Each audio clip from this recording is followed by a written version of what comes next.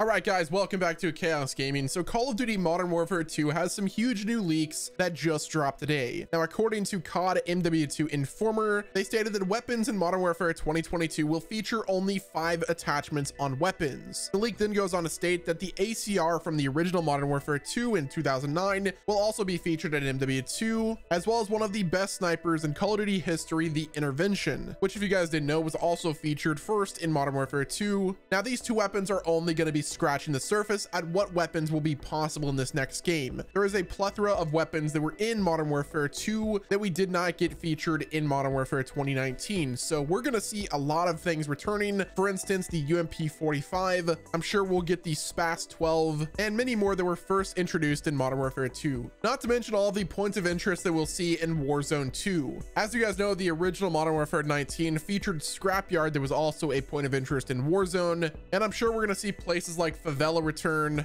We already saw Rust in MW19. I'm sure we're going to get probably Skid Row. Terminal's another big one. That's probably one of the most recognizable maps in all of Call of Duty history. I could easily see us getting High Rise from MW2, Underpass, and the possibilities are endless as to what maps we could see featured in the game. Modern Warfare 2 is set to release this holiday season, likely in October or November. My guess is we will get it in October because that's usually how Call of Duty's been doing things. And then the full reveal will take place sometime in May. I thought we would get a teaser earlier than that, but because Call of Duty is focusing on the Operation Monarch, the King Kong versus Godzilla battle that will be happening at May 11th, but it's not looking like we're going to get any news regarding Modern Warfare 2 in 2022 until after Operation Monarch, and we might not see anything until sometime in September. But who knows, guys? Let me know what your thoughts are on this video. Are you excited about all the leaks coming to Modern Warfare 2? Will you be buying this game? Do you think Infinity Ward deserves your money? Let me know in the comment section below, guys. Do me a favor, hit the like button, subscribe to the channel with your notifications on, and don't forget to check back again on this channel for more updates regarding Call of Duty Modern Warfare 2 in 2022.